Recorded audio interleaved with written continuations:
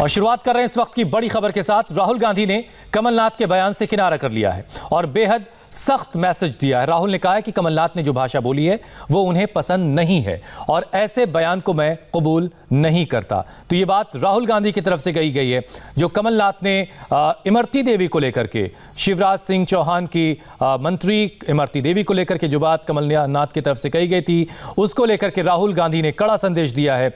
राहुल गांधी ने क्या कहा है? सुनवाते हैं आपको। Remark against uh, Imarti Devi was speaking uh, in a uh, canvas uh, meeting.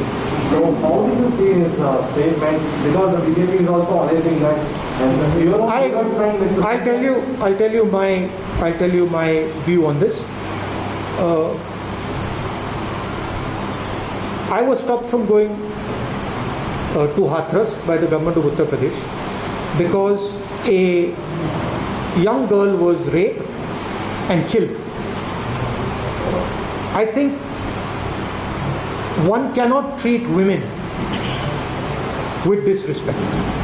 One cannot uh, Kamalnath is from my party, but I don't like personally the type of language that Kamalnath ji has used.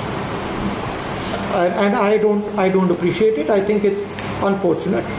Uh, but as a general statement, I think that our treatment of women in this country at all levels has a lot uh, to be improved.